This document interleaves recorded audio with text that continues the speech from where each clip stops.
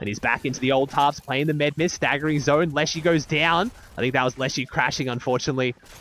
Player's really weak. Wait, is that a collateral? A collateral from Merstach. He picks up two elims for the price of one. One shotgun shot, and he picks up his fifth and sixth elimination of the game.